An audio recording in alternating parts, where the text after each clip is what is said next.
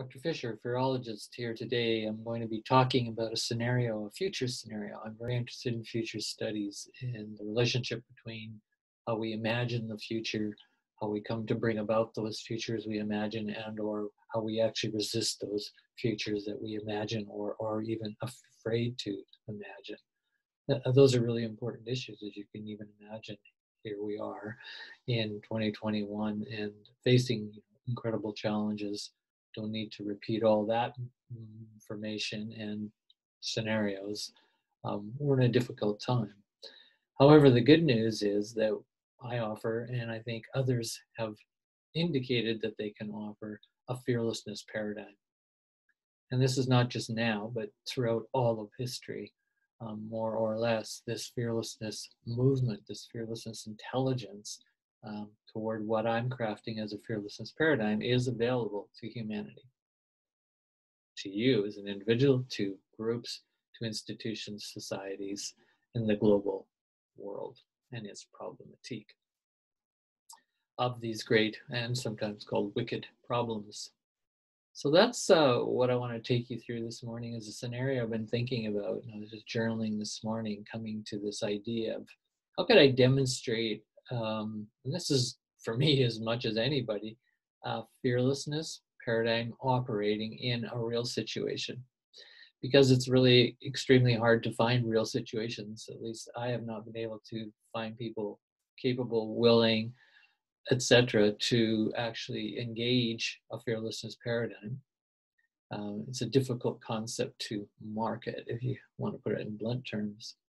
So I thought, well, if I really set up a scenario, I could walk you through as you're viewing, and you could share this with the world as much as you like, and to people that might really be able to use this notion of a fearlessness paradigm in their work. So let me start with the scenario.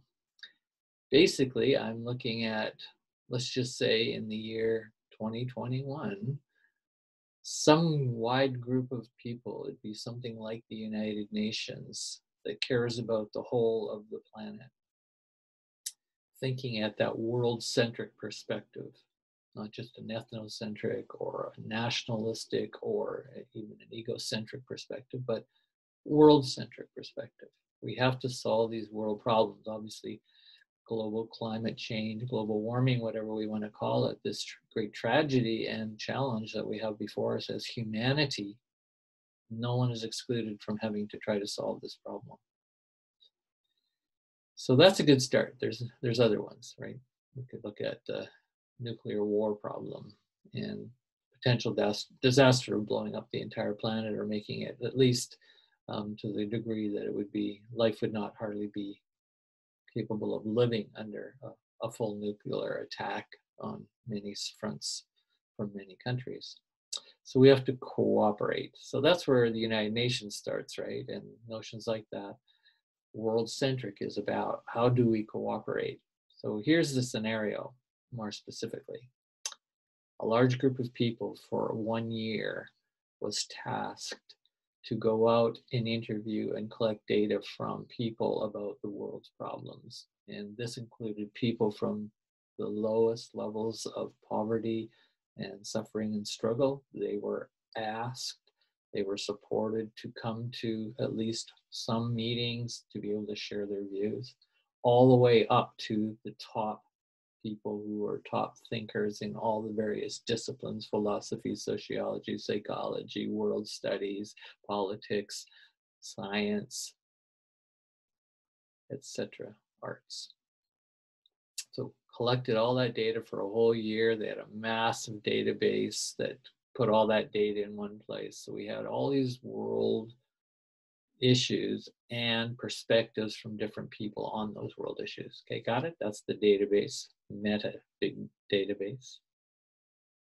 And then they had researchers who were also looking at all the history um, prior to 2021 and collecting all that data from all the same kinds of sources, but mostly published sources because they're most available from people who have come and no longer live with us on this planet and we took all that data and put it into this big pot of information, knowledge.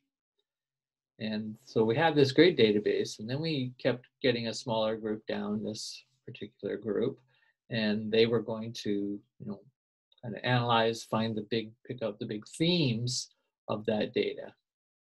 Then they were going to take another year to present that data. And they would bring in people of different voices, as I say, from people right down in the uh, quote uneducated, formerly uneducated, all the way up to the highest levels of our educational, formal educational systems, etc., experts from around the world.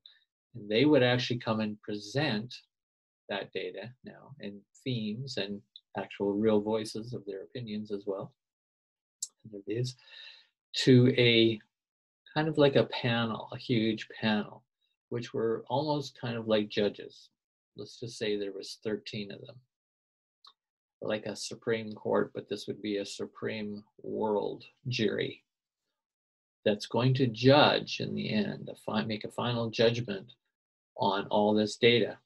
Except what they decided as a group of 13 of these very highly picked people capable of making that decision or a world decision on these problems they said well we want to we want a jury we want another jury of the people so uh, we will help make that decision, but we want a jury to come to us with their solutions first and how to proceed to solve these world's worst problems.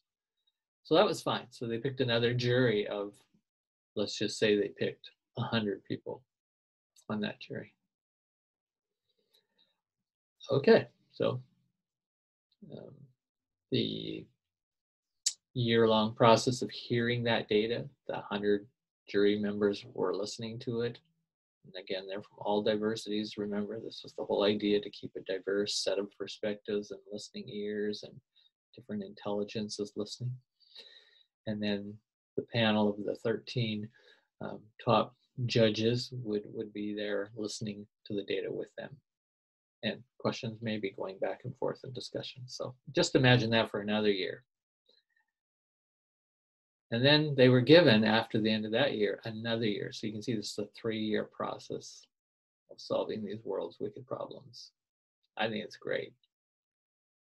That's my opinion, what needs to be done. So then the, that's where I'm going to come in. Um, in the third year of this jury going off in their retreat space to do this analysis for a year, at the six month point, there were some problems. I was given a phone call. Hey, could you come in and maybe help this group? They're kind of stuck. And we hear that you've done some consulting with groups that get stuck or family therapy where families get stuck and making decisions or private clients. So you seem to have some experience. We've heard you're doing something with this fear and fearlessness stuff. Seems to be your expertise. So we we just got somebody told us that you should probably come down. Yeah, okay, I'll be down there. Um, and and though they said be prepared to be with this group helping them for the next six months but they're at the halfway process of having to come up with their decision to bring back to the 13 judges oh okay yeah, sure i'll be so i show up at the, the retreat where they're at they're very kind fed me well, got to know me a little bit. They were a little intrigued, um, a little estranged as well. Some people was, what's this guy going to do to help us study fear and fearlessness? What the heck? That was a mild comment. And uh, so I just calmly, you know, sat in the room with them first day and I asked them, so the one thing I said is to start. So you're here to cooperate. This whole process, you're in the third year of a process of cooperation on a world perspective of how to solve these problems. And they said, yeah, yeah, we are. And every one of them agreed that they were here to cooperate. And then I asked them, I said, I said oh, great, 100% that you believe, all of you, that you're here to cooperate. You're on a three year process of mass cooperation on a global scale to solve these global problems. Then I asked them, how many of you are actually cooperating?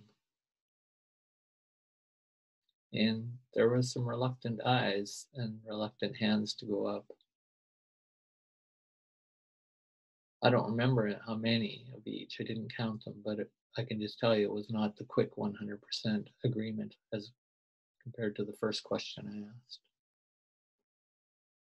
So I said, all right, well, this is more or less what I want to find out. I'm going to ask some questions.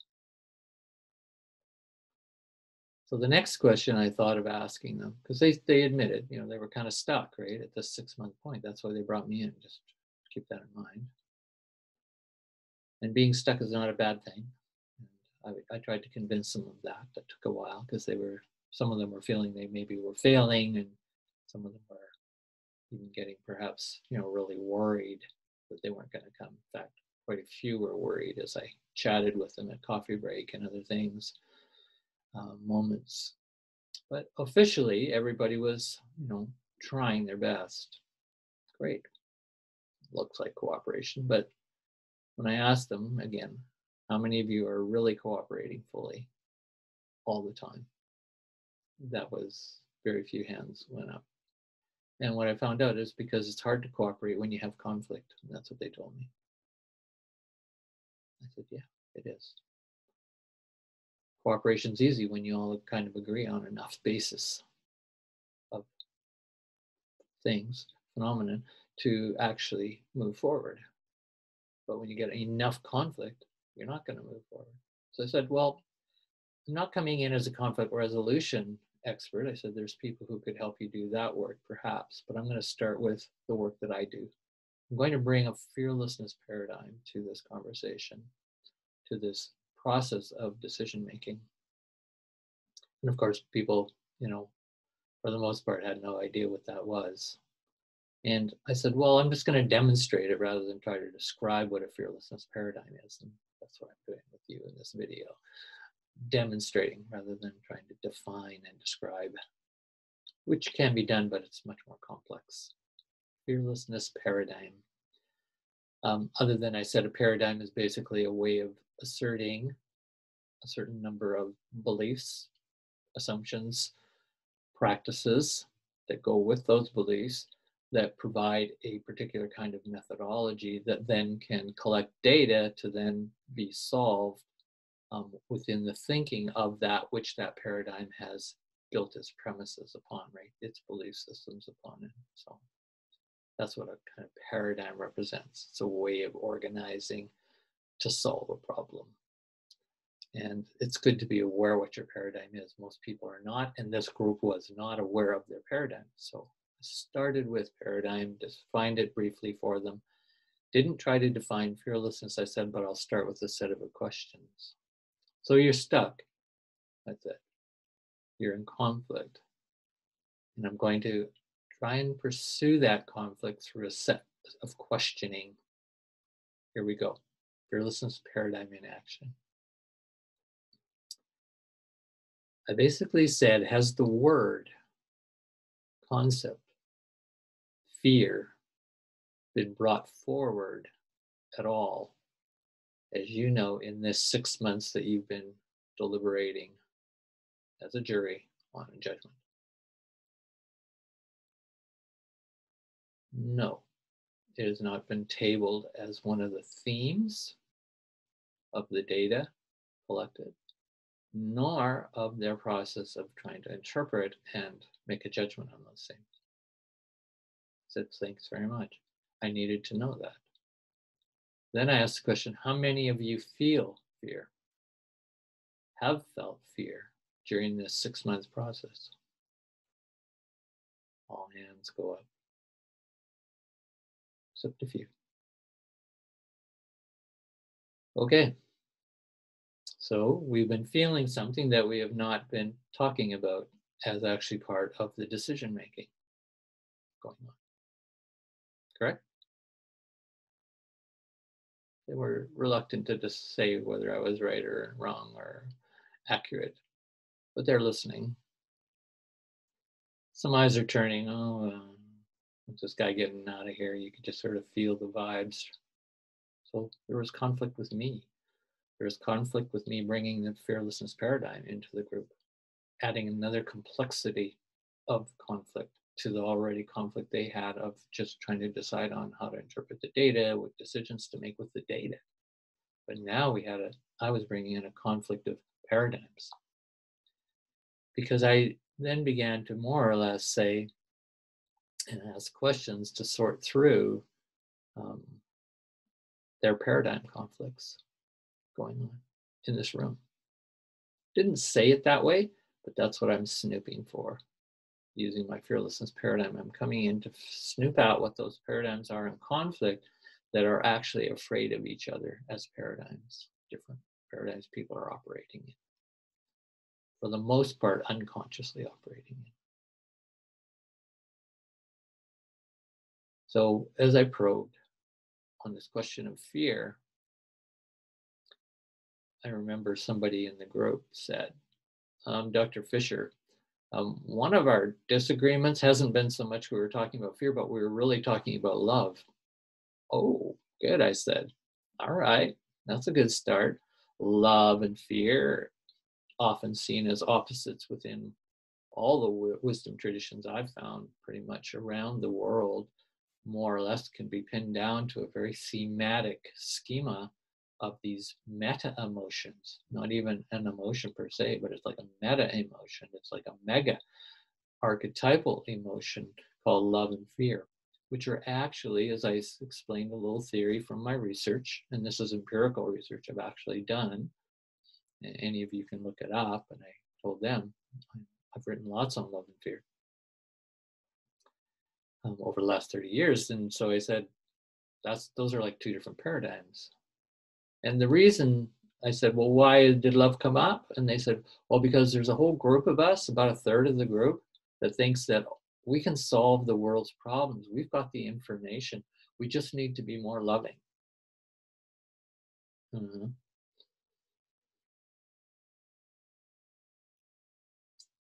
Take that in for a minute.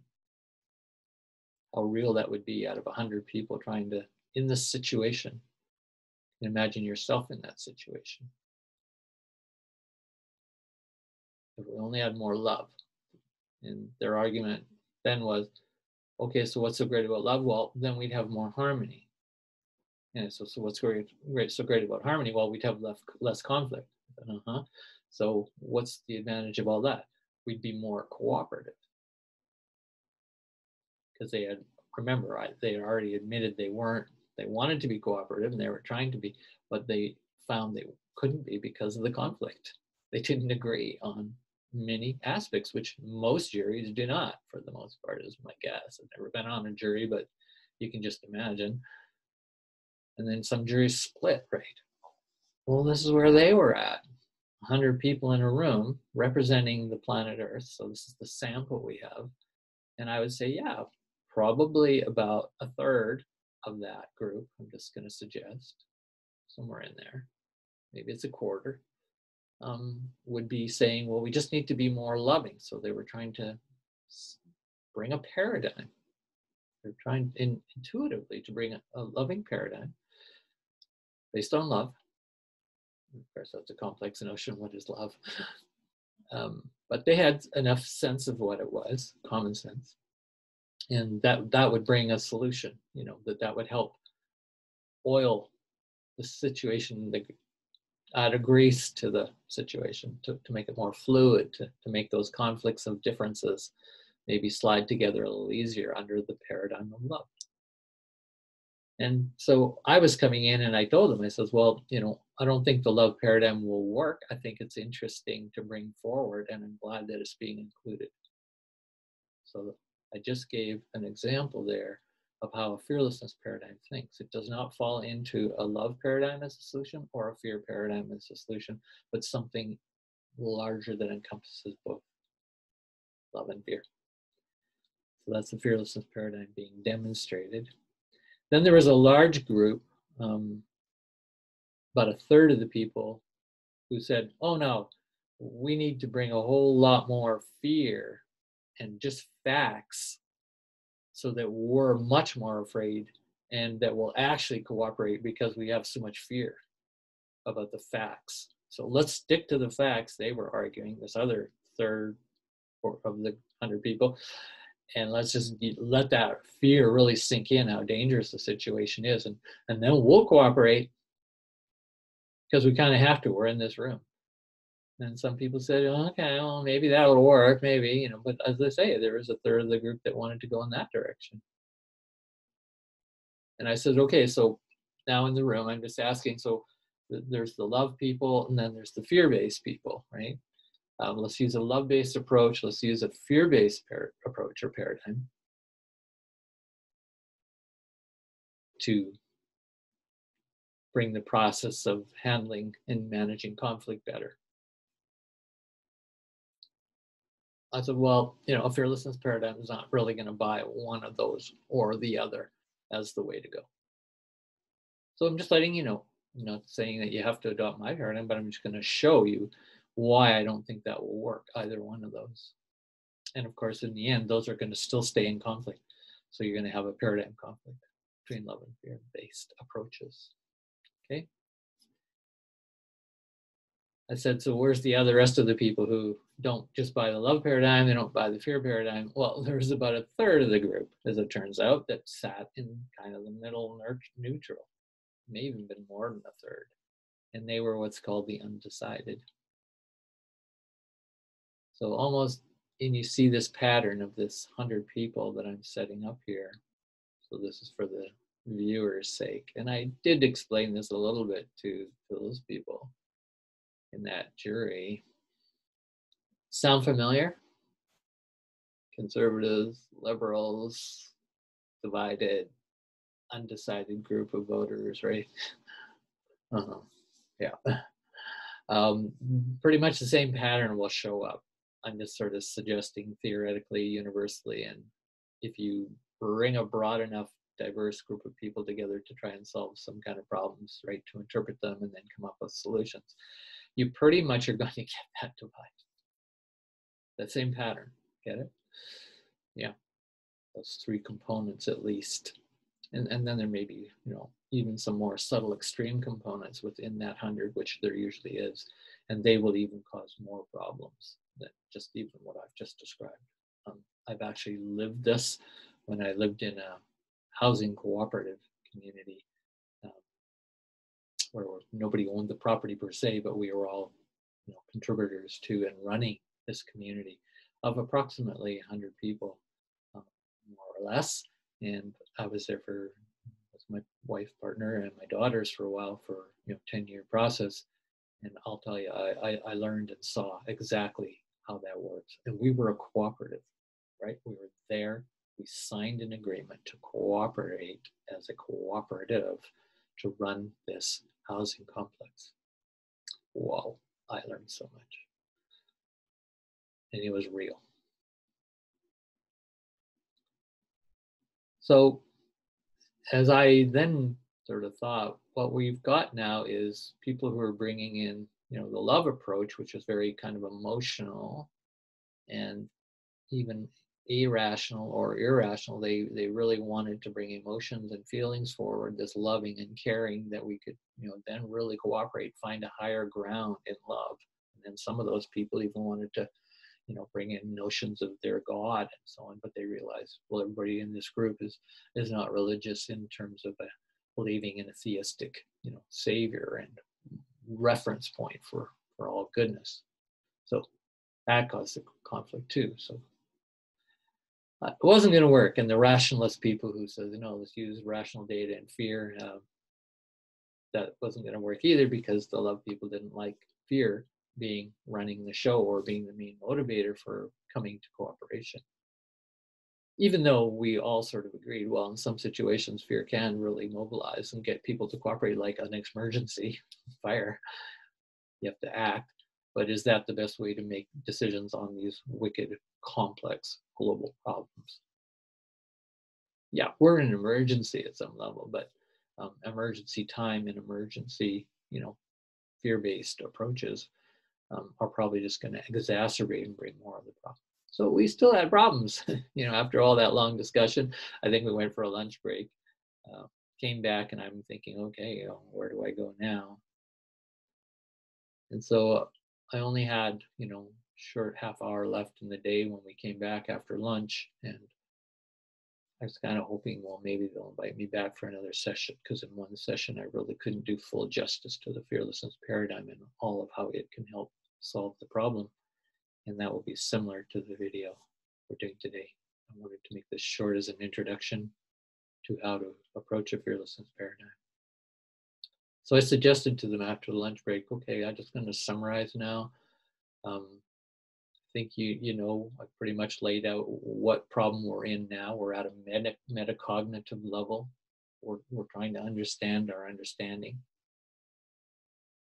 We're trying to put a lens or a perspective on how we're approaching this problem, not just what the details of the problem are. So, so that was, I was trying to unite people in their differences and then the undecided. I was trying to say there's a larger framework here, which is metacognitive. It means it's a cognition about our cognition.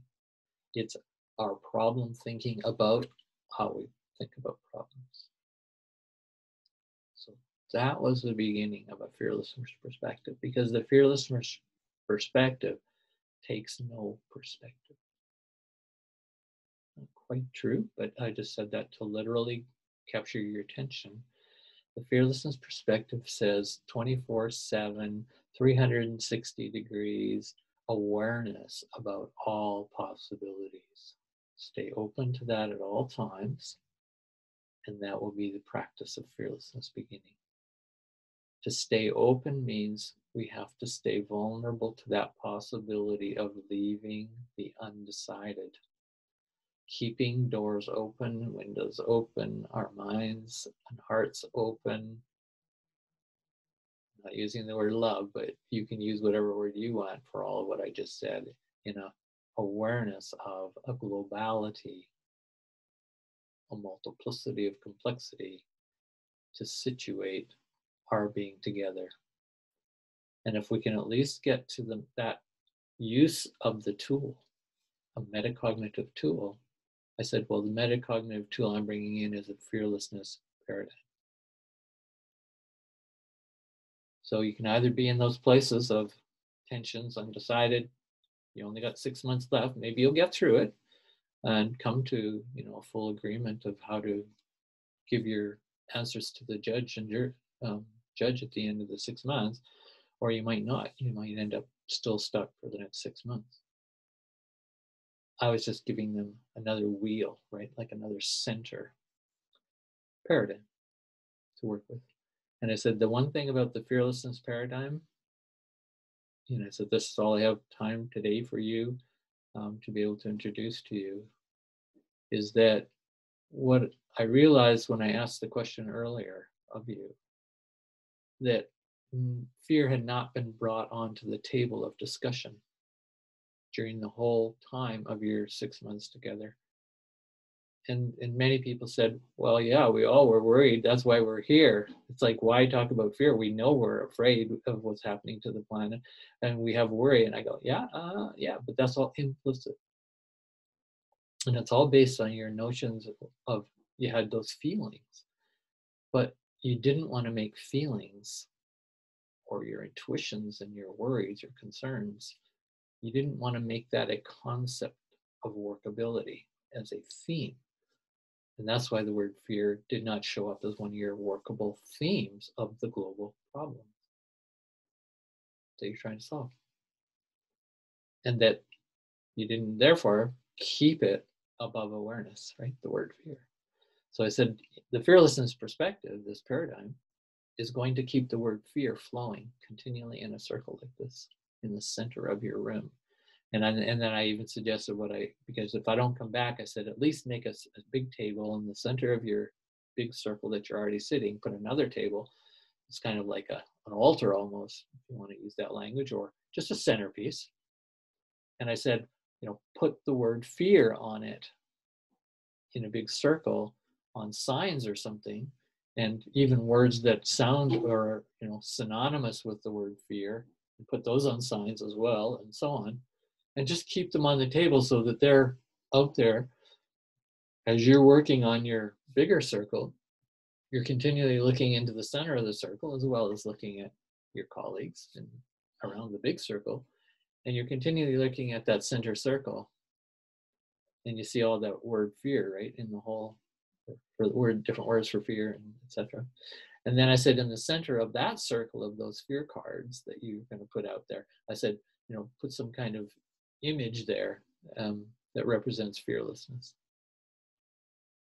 And what I suggest is that, you know, each of you bring in and draw a picture of or paint something or sculpt something, do it in an artistic process where fearlessness is how you would like to represent it. So everybody, the 100 people, all get to represent it, and then you can kind of glue it together in a big sculpture in the middle.